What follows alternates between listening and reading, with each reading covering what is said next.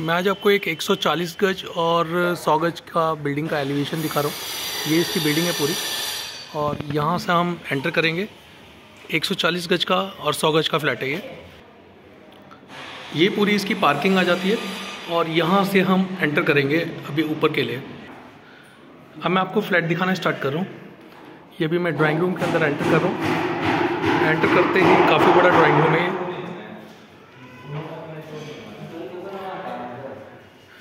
But उससे पहले मैं आपको ये पूरा ड्राइंग रूम दिखा रहा हूँ।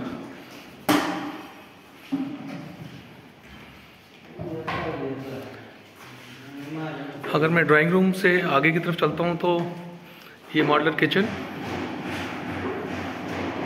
स्पेसियस फ्लैट है और काफ़ी बड़ा फ्लैट है। टू साइड ओपन प्रॉपर्टी है ये। आप किचन देख रहे हैं इसकी।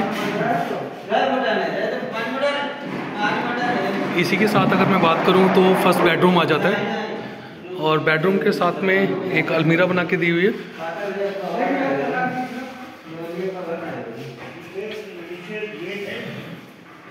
अगर मैं यहाँ की बात करूँ तो यहाँ पर एक ड्रेसिंग एरिया अलग दे दिया है और अलमीरा दी हुई है।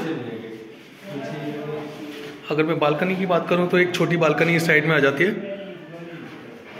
अब मैं आगे लेके चल रहा हूँ आपको जो दो बेडरूम है आगे की तरफ़, ये ड्राइंग रूम है पूरा। ये जो डोर ओपन है, यहाँ से मैंने एंटर किया था। लिफ्ट है इसके अंदर। अब मैं अगर आगे चल रहा हूँ तो दोनों फ्रंट पे डोर है। इसका कॉमन बाथरूम बंद है। उसको मैं बाद में दिखा दूँगा आपको। ये इसका second bedroom three B K flat बना है। सामने एलिवेशन के साथ ही एक बालकनी है। बालकनी में काफ़ी स्पेस है। आप आराम से बैठ सकते हैं। ये इसका फॉल सीलिंग का डिज़ाइन है। अब मैं यहाँ से आपको इसके साथ में बाथरूम दिखा दे रहा हूँ। बाथरूम काफ़ी स्पेसियस है इसका।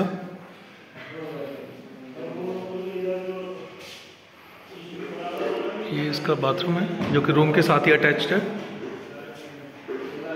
अब मैं आपको लेके चल रहा हूँ आगे की तरफ़। ये इसका थर्ड बेडरूम